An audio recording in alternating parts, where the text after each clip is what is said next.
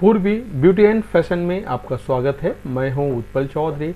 आज हम बात करेंगे डेड स्किन सेल्स निकालने के लिए। ये है स्किन एक्सफोलिएट करने का सही तरीका। मैं आपको बता रहा हूँ, सही स्टेप किस तरह आपको उठाना है। तो आइए शुरू करते हैं आज का वीडियो, लेकिन वीडियो शुरू करने से पहले बोलना चाहूँगा, आपने अभी तक हमारा चैनल सब्सक्राइब नहीं किया है तो चैनल को सब्सक्राइब कर लें। बेल आइकन की घंटी बजा दें, जिससे हमारे आने वाले सभी वीडियो सबसे पहले आपको मिले। तो आइए शुरू करते हैं आज का वीडियो। चमकती त्वचा पाने के लिए एक्सफोलिएट एक महत्वपूर्ण स्टेप है। एक्सफोलिएशन स्किन को अंदरूनी तौर पर साफ़ करने के लिए स्किन को चमकदार बनाता है। एक्सफोलिएशन करने से डेड सेल्स आसानी से निकल जाते हैं। और त्वचा ग्लोइंग बनती है, लेकिन बहुत से लोगों को एक्सफोलेशन करने का सही तरीका नहीं पता होता है। जिस कारण त्वचा में कई समस्याएँ, जैसे एक्ने, सूजन और लालिमा की समस्या हो जाती है।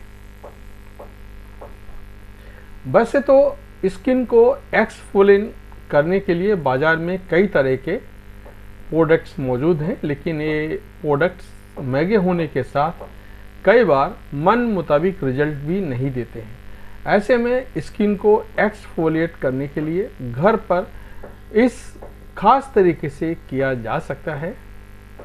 इस तरीके से एक्सफोलिएट करने से त्वचा चमकदार बनेगी और स्किन हेल्दी होगी। तो आइए जानते हैं स्किन को एक्सफोलिएट करने का सही तरीका। स्किन को एक्सफोलिएट करने का तरीका। उसके लिए आपको सामग्री चाहिए। एक चम्मच बेसन, एक चम्मच दही, आधा चम्मच शहद। इसको लगाने का तरीका भी आपको बता रहा हूँ। स्किन को एक्सपोरेट करने के लिए, मिश्रण को बनाने के लिए सभी चीज़ों को मिलाकर पेस्ट तैयार करें। अब इस पेस्ट को लगाने से पहले चेहरे पर पानी से वॉश करें। उसके बाद इस पेस्ट को चेहरे पर ब्रश या उंगलियों की मदद से इसे चेहरे पर 15 मिनट के लिए लगा के रखें। हटाने से पहले इस मिश्रण को हल्के हाथ से चेहरे पर रब करें, उसके बाद चेहरे को गुनगुने पानी से धो लें। ये मिश्रण स्किन को क्लीन करने के साथ स्किन को चमकदार बनाता है। सह मिश्रण स्किन को मुलायम भी बनाता है और डेड स्किन सेल्स को आसानी से साफ़ भी करता है। स्किन को एक्सफोलिएट करने से कब बचे? धूप से झुलसी त्वचा। यदि आपकी त्वचा पहले से ही धूप में झुलसी हुई है या किसी अन्य स्किन संबंधी परेशानी का सामना कर रही है तो जब तक ये पूरी तरह से ठीक ना हो जाए, तब तक एक्सफोलिएट करने से बचना चाहिए।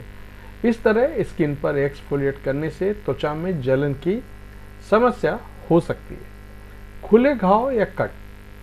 यदि आपकी त्वचा पर खुले घाव कट है तो एक्सफोलिएट करने से पहले बचना चाहिए, क्योंकि एक्सफोलिएट करने में इनमें बैक्टीरिया आसानी से घुस सकता है और इन्फेक्शन हो सकता है। ऐसे में अगर त्वचा पर कोई कट है तो कुछ दिनों के लिए एक्सफोलिएशन करने से बचे। पिंपल्स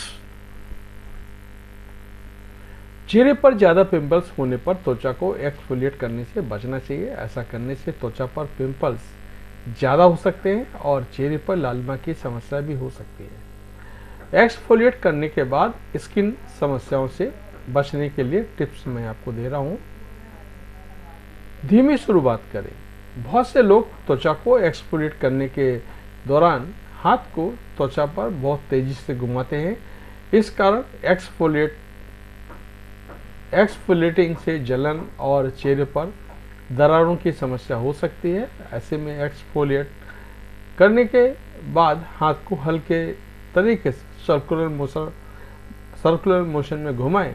एक्सफोलेशन करने से आपकी त्वचा यूवी किरणों के प्रति संवेदनशील हो सकती है। ऐसे में चेहरे को एक्सफोलेट करने के बाद एसपीएफ वाला सनस्क्रीन इस्तेमाल करें। मॉइस्चराइज करें। त्वचा को एक्सफोलिएट करने के बाद हाइड्रेंट रखने के लिए त्वचा के अनुसार मॉइस्चराइज लगाएँ। ऐसा करने से स्किन ड्राई होने से बचेगी और हाइड्रेंट भी रहेगी।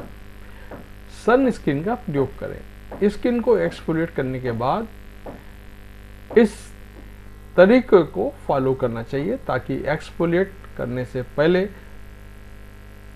पेस्ट टेस्ट अवश्य करें तो ये था हमारा आज का वीडियो। आपको कैसा लगा हमें ज़रूर बताएँ। धन्यवाद।